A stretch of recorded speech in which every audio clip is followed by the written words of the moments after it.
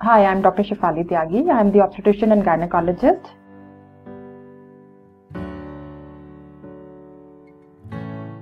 We start at week 4 to week 8, that is the second month of your pregnancy.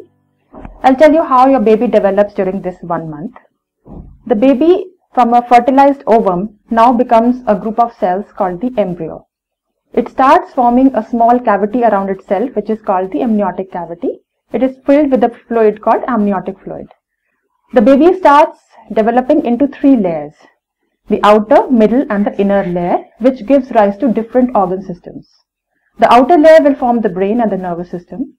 The middle layer will form the heart and the circulatory system and the bones and the inner layer will give rise to the digestive system and the liver. The baby's uh, placental cells start getting established forming the circulation between you and the baby.